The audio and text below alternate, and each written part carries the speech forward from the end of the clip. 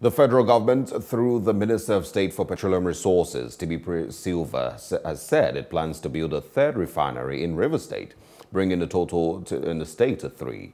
This is as the River State Governor Nyesom Wike insisted that the Niger Delta region is safe for companies to conduct business and demanded that international oil companies, IOCs, relocate their headquarters to the state. The duo spoke when the Minister of State for Petroleum Resources, Timothy Sylva, and the management of the Nigerian National Petroleum Corporation, NNPC, paid a courtesy visit to Wike at the Government House in Port Harcourt. Sylva also said plans had reached an advanced stage to rehabilitate the existing refineries in the country. This is coming as Total Exploration and Production Nigeria Limited expressed concern over what it described as the continuous depletion of Nigeria's oil and gas reserves. The multinational stressed that the situation portends serious danger to the nation's future economic sustainability. And to speak on this, we have a former Commissioner of Environment in Bayelsa State, Eradiri Udengs, and also uh, public affairs analyst uh, Leonard Ebute, uh, both joining us virtually. Thank you so much for joining us. Yeah, good morning.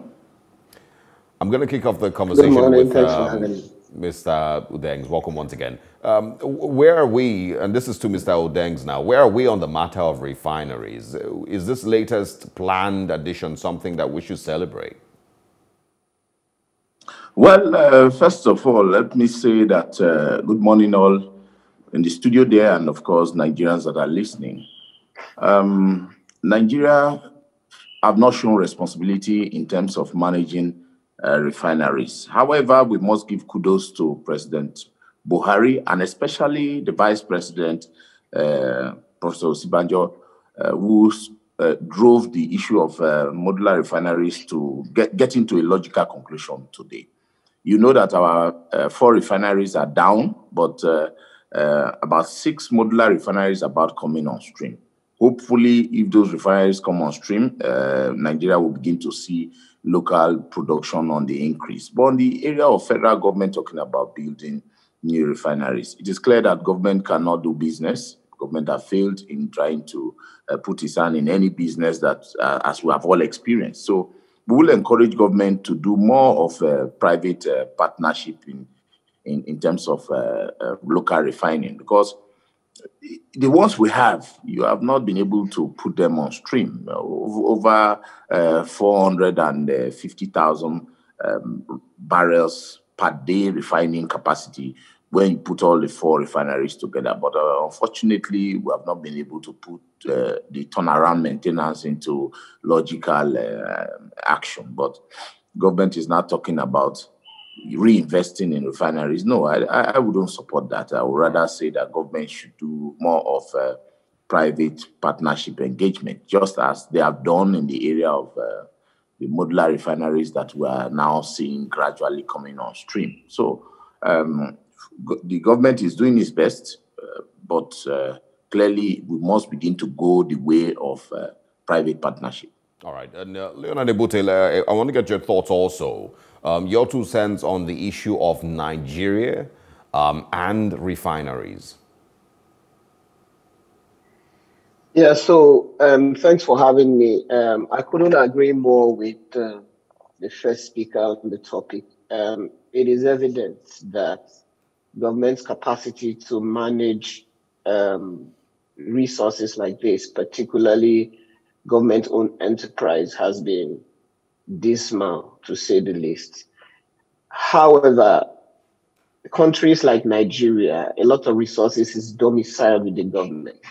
And so the question I'll be posing is, would be, what would be the nature of government partnership? So when the government says we need more refineries, I agree. And maybe we'll come to that in a moment. I agree that we really need to be self-sustaining in terms of power resources in Nigeria. And I think that hydrocarbon energy is not going anywhere for quite some time, despite the global clamor for greener sources of energy. However, the nature of government partner partnership is key. I, I think that the resources for taking on this kind of big project in a place like Nigeria and the rest of Africa is domiciled with government.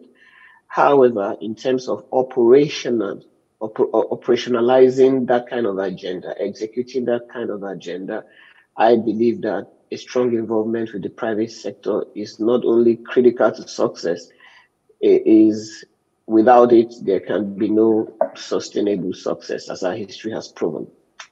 All right, and uh, back to uh, Mr. Eradiri Udengs. Uh, I want to get your thoughts on uh, the concerns by the managing director of Total uh, E&P Nigeria, Mike Sangster, about the continuous depletion of Nigeria's oil and gas reserves. Um, where do you think we're going with that?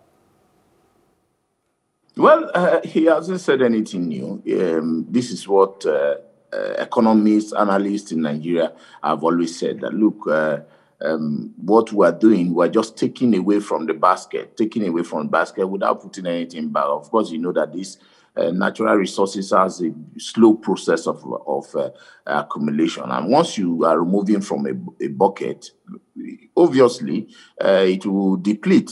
And that's what he has saying, said. But I think that his concern is about the Nigeria's mono economy on oil and gas, believing that uh, with the revenue that we get from the oil and gas, we should have been able to expand into other sectors, diversify, and ensure that our economy is strong.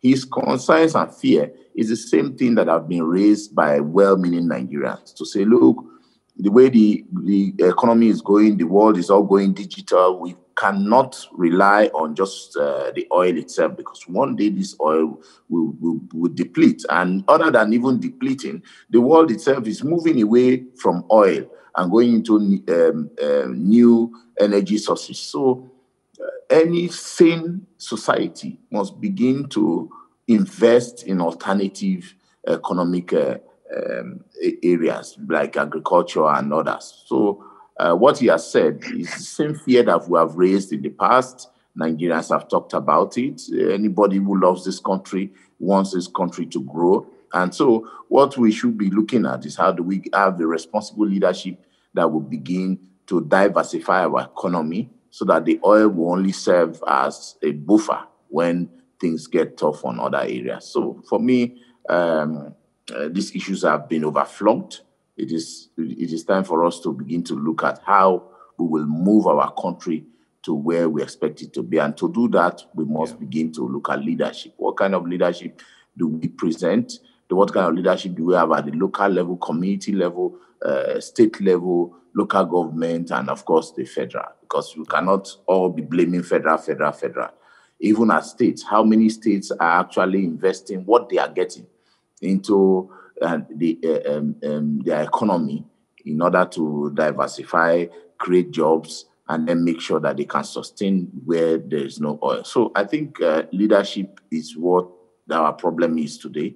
And if you look at other countries that have made progress, it is the type of leadership that they have that have guaranteed the progress that uh, we have seen in the UAE and places like that, where they have a lot of oil and gas reserves, but that is just a third of the GDP of their country because right. leadership have said, no, let us from here raise the monies that we will create, diversify economy. And of course, they diversified to more of tourism, and today the tourism sector is is creating right, a lot of impact to, uh, in such economies. We as Nigeria must copy from such nations. All right, let's go back quickly to uh, Mr. Leonard Ebute with the time that we have, and he's talking about taking action with regards to diversifying our economy. Uh, can you help explain some of the serious dangers that, we currently face to the nation's future economic stability?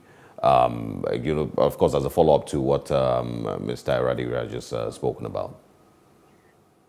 Yes, on face value, you would you would think that um, what my counterpart just just raised were the issues being raised by the the the original um, speaker of uh, you know the original opinion opinionist on this topic. But when you look at when you read the statement, it appears to be a little different. It appears to be a little confusing. He he was talking about exploration capacity at the same time talking about um, Nigeria's reserve depleting. Like you mentioned, when you take out, you don't put back in, so it's depleting. But let's dimension that a bit. Nigeria, as of 2016, when it was last checked, has 37 billion barrels of confirmed known reserve, right? That, that's nearly 240 years of exploration. If you're looking at our current um, rate of exploration. So I, I don't, I, I do not think that that is an immediate and present danger. But if you're talking about um, prospecting for additional um, reserves that we have not found, that appears to be where he's going. But it appears to contradict um, a little bit the business thesis. If I have 240 years to make an investment, it still makes sense to make that investment. Okay, that's that's that's on the one side. On on the second side, in terms of the economic impact of oil itself, see, Nigeria is already the structure of the Nigerian economy is already significantly diversified. This may not be visible to everybody. Like he, he mentioned, oil is already a third of GDP. What is the problem is the structure of government revenue. It is government revenue that hasn't been sufficiently diversified and that is at risk when these things happen. And the thesis that some of us are proposing is that putting more money in the hands of the government hasn't grown the nation. And so why should I worry that less money will be in the hands of the government if other areas of the GDP that are not government controlled will grow at the expense of oil. And we saw this when oil was zero or even negative. The rest of Nigeria kept moving forward like nothing happened. Okay, while it can be argued that if that had persisted for an extended period of time, it would have had economic impact, right? The focus shouldn't be um, a doomsday prediction that the country will go up in flames. There is evidence, there is research evidence that at the resource-rich African kind of development. So this is the antithesis of the so-called re, what what economists call the so-called resource curse. And so um, I am not at all worried about any doomsday prediction, but I also know that oil is not going anywhere. In spite of all of the green revolution, the global climate change, and all of that, it is evident that Nigeria will need to invest in oil to meet her own domestic energy needs. And we are not even a net significant contributor to the global um, um, um, um carbon footprint at all. So it shouldn't be a worry at this point in our economic history. I, I, I, I am all for um, investing in refineries. The structure of that investment is important. And I think, like he mentioned, local resources at the very local level should get more involved in some of these things. So from an economic prognosis, um, I'm not discounting it, but I'm simply saying it is government that needs to figure out other sources of funding. Otherwise, the economy itself, I believe, will ride any storm from um, from this. All right, and uh, quickly back to Mr. Udengs. Uh, where do you think we should go from here? Um, what, what, strategy do you think we should have to avoid uh, the waning that NAPE uh, already spoken about? Of course, that Nigeria risks long-term disruption to oil and gas supplies, power generation, collapse of industries, loss of revenue. There's so much. Um, where do you think you know our you know immediate steps should be to avoid some of these things? I, think that uh, um, let's give some credit to President Buhari's administration. They have uh, been talking about diversification of the economy, especially the agri sector. Today, you are seeing a lot of Nigerians now focusing on rice production. People are going into agro-based investments for uh, sustainability, which in turn affects the, the, the, growth of the country.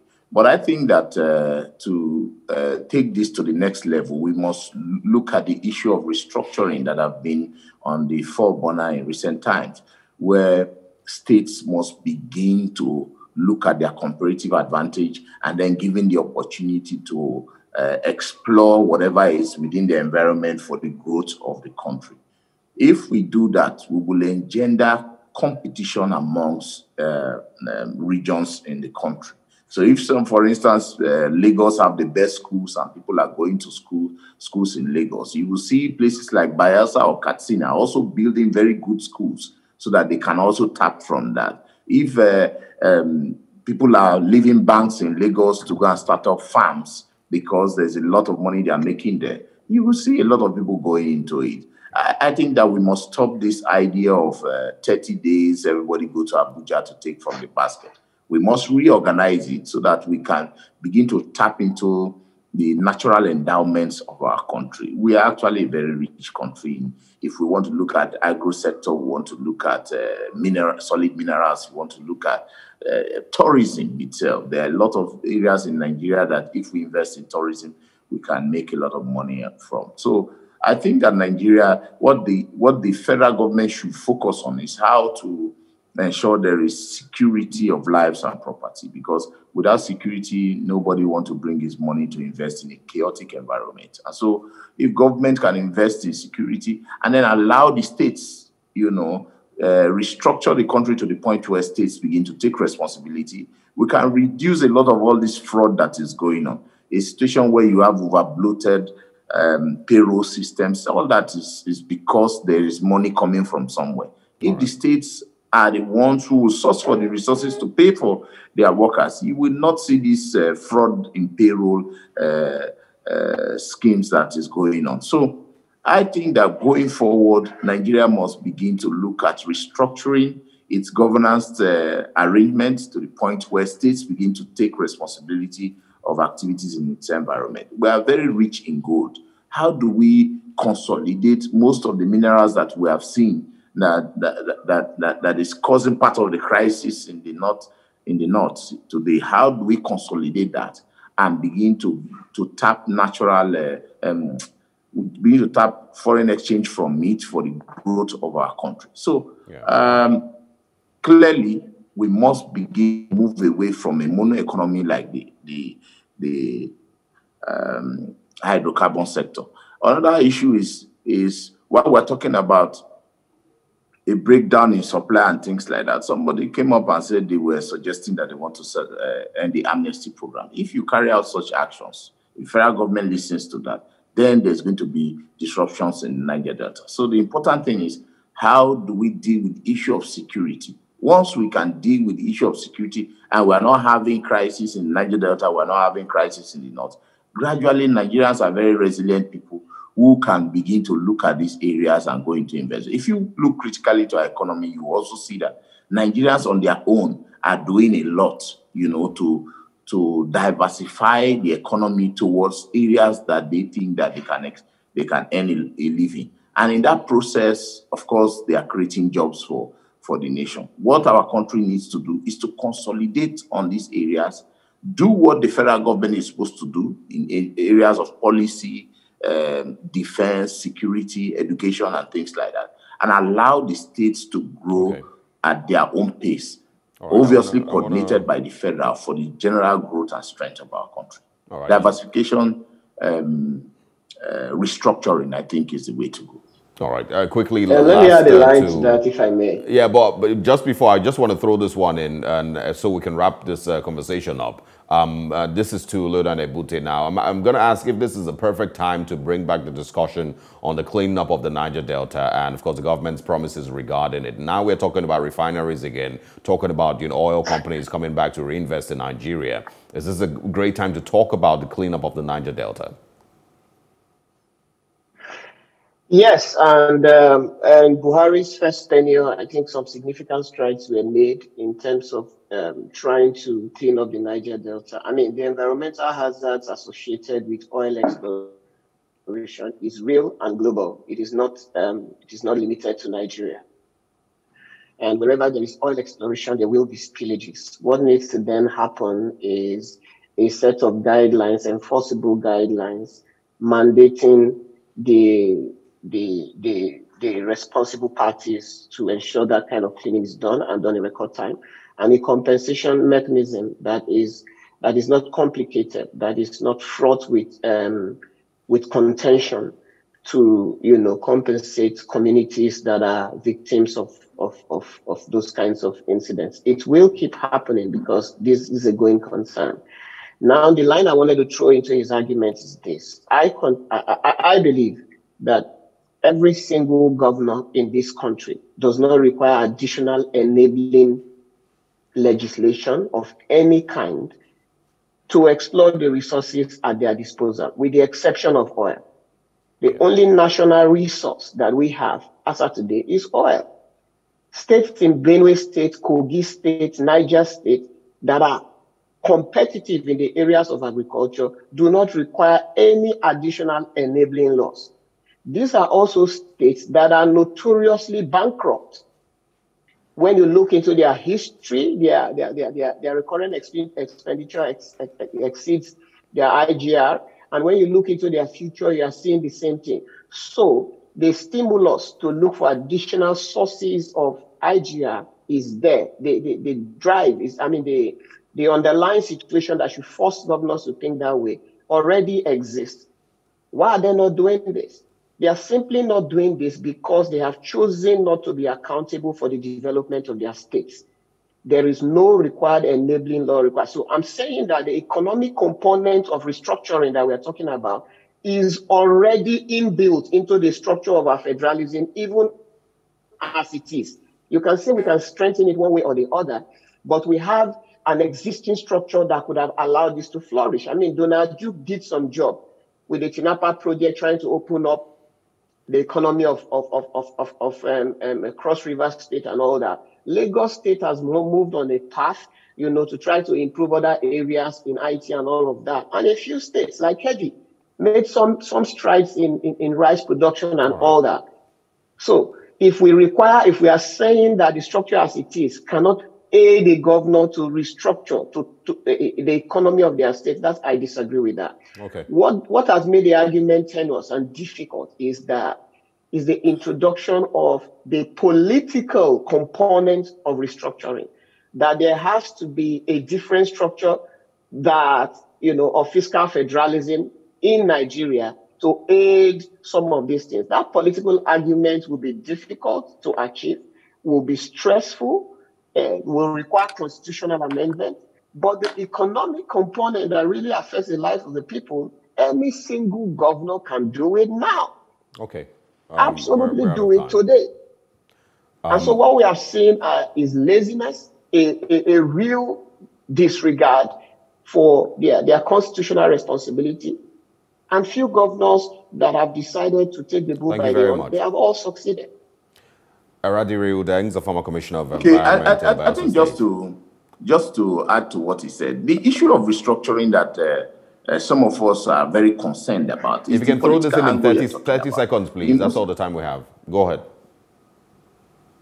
Okay, yeah. Uh, so because uh, once we restructure, we will now start having the people decide who becomes their governors. In most cases, the parties from Abuja decide. At the end of the day, you get buffoons excuse my language, buffoons as, uh, as governors until they are just waiting to share money. But aside from that, let's go to the issue of the cleanup. When I was commissioner for environment in Bayelsa, we had this uh, uh, environmental commission that had the Archbishop of York as, as the chairman, and we were in the climate change conference in in uh, Madrid. Our drive there in UN was to see how an international task force would be set up on environmental practices by IOCs so that the same practice Shell will uh, um, uh, inculcate in London should be the same thing when they get to, to African nations because usually they come into Africa to carry out exploration activities and then they are, they are mixed up in the politics of that country bribery and corruption. So at the end of the day, they come do the business the way they like, just take the oil and then leave the environment. So we were actually pushing for an environmental commission that and tax force, environmental tax force that will be set up by UN in order to ensure that the same practice abroad the same practice that these com com companies must abide when they go to developing nations, irrespective of the politics of that environment. We have seen what is happening in the Ogoni cleanup. If you go there, there is no practical work that you say okay. this will lead to a logical cleanup that we're talking about. It has been uh, involved in a lot of corruption much, and uh, um, misadministration. So, but Nigeria must much. begin to look at how we will have, we have the laws, but how do we have the right persons to ensure that these laws. laws. are enforced? Thank you and very much. We always, um, we're, uh, we're the blame on the political sector. Eradi Deng, the former Commissioner of Environment in Bayelsa State, thank you so much for speaking with us. And of course, uh, Leonard Ebute, Public Affairs Analyst. Looking forward to having uh, another conversation with you too. Thank you. Thank you.